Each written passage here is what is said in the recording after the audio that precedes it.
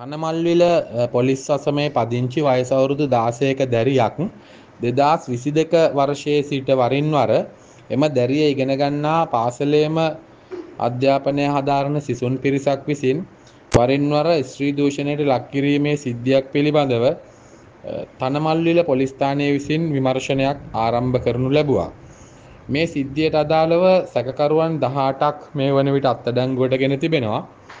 ඒ වගේම මේ සැකකරුවන්ට මේ ස්ත්‍රී දූෂණය සඳහා ආධාර අනුබල දීම නැමැති වරද මත තවත් වයස අවුරුදු 39ක කාන්තාවක්ද අත්අඩංගුවට අරගෙන තිබෙනවා. අත්අඩංගුවටගත් සැකකරුවන් සියලු දෙනා අද දින වැල්ලවාය මහේස්ත්‍රාත් අධිකරණයට ඉදිරිපත් කිරීමෙන් අනතුරුව ඒ සැකකරුවන් අතර වයස අවුරුදු 18ට වැඩි සැකකරුවන් සියලු දෙනා අගෝස්තු 22 දින දක්වා ආරක්ෂිත බන්ධනාගාරගත කර තිබෙනවා.